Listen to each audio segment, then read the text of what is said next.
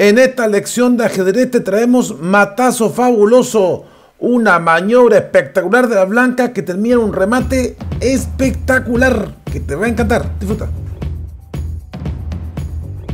Hola amigos ajedrecistas, espero que estén bien. Aquí estamos con un nuevo video de Chess Tour y en esta lección de ajedrez te traemos Matazo Fabuloso, una partida con un remate impresionante y una táctica exquisita, de lujo y que te va a encantar. En esta partida jugada en 1904 en Novgorod, con blancas Wishniakov y con negras Owen.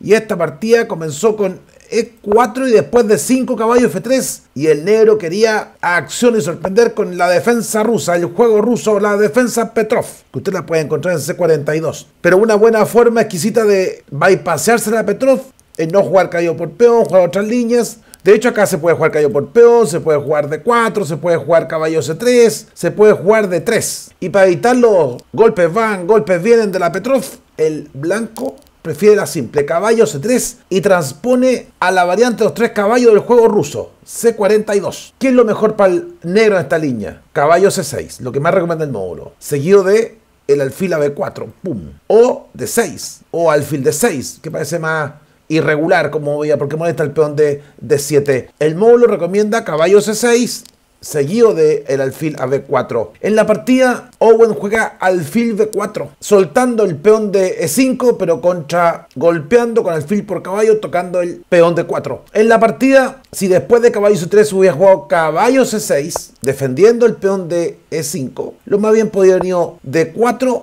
pero aquí ya estamos entrando en la variante escocesa del juego de los cuatro caballos y eso es C47. Peón por peón, caballo por peón, alfil B4, cambiamos el caballo en C6, B por C6, alfil de 3 y una partida muy equilibrada. Pero después de caballo F6, Wishniakov prefiere caballo C3 y ahora el negro juega alfil B4 en vez de jugar caballo C6. ¿Qué viene ahora para el blanco?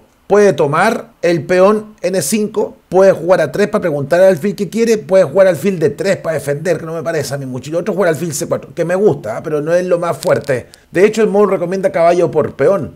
En la partida, Wisniakov jugó alfil C4, fíjense, lo que le gusta a Chestur.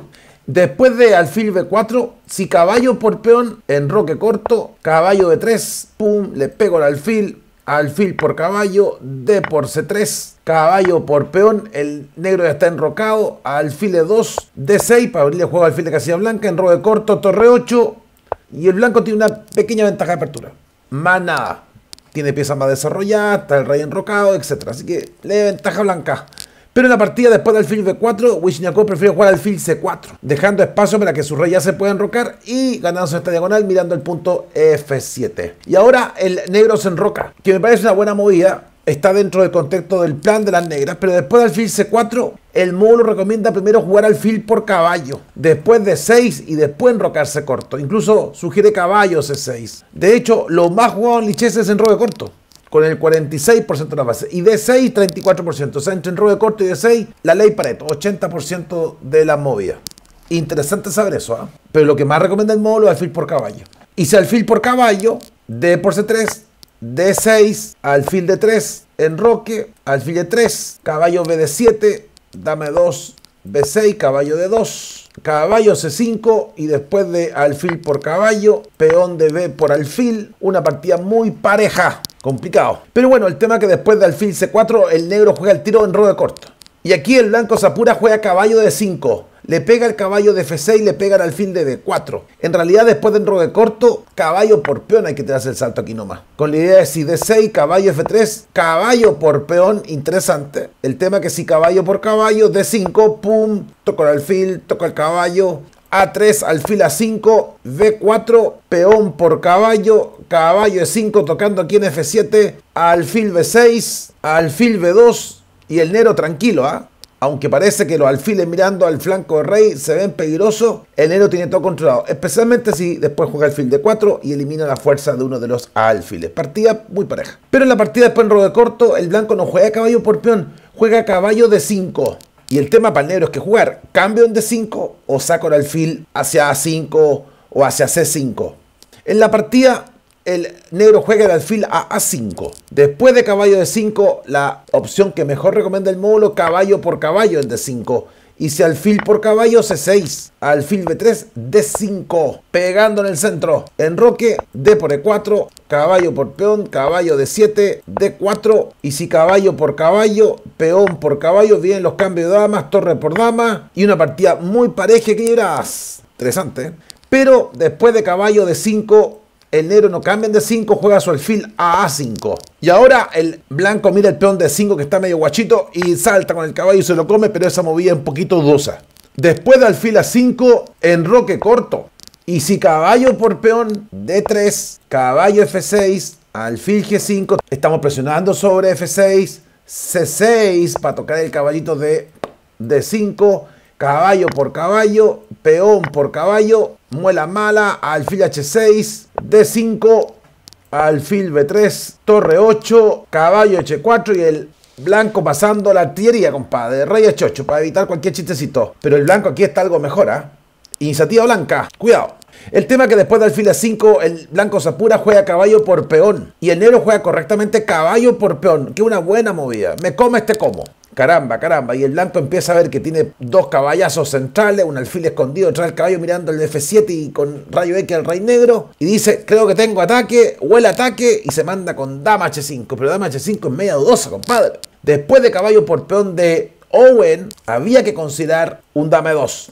Y si caballo de 6, el caballo defiende F7, alfil de 3, C6, caballo de 3, las blancas reculan caballo de 8, B3 de 6 y todas las piezas blancas para atrás, compadre. Para atrás como Nicolás. Y partía muy pareja y equilibrada. Increíble cómo quedaron estas piezas que teníamos esos dos caballos en el centro del fila acá y miren cómo quedaron. Pero bueno, pequeña ventaja blanca, pero el negro está tranquilo, ¿no? La otra idea es que después de caballo por peón se podía haber jugado también un dama F3 que no es tan potente porque de todo modo el negro puede jugar caballo de 6, defiende el peón de F7 y si caballo E3, dama E7, dama H5, torre 8, alfil por peón, caballo por caballo por caballo, dama por caballo, ping, dama por alfil y una partida muy equilibrada, ¿ah? chances iguales. Interesante, pero el tema que después de caballo por peón del negro, Wisniakov jugó dama H5 poniendo presión aquí en F7, ¿ah? Cuidadín, Liren. Y está el fil que está ahí a la deriva, compadre. El tema que ahora el negro juega torre 8, que es más mala que pegarle a la abuela.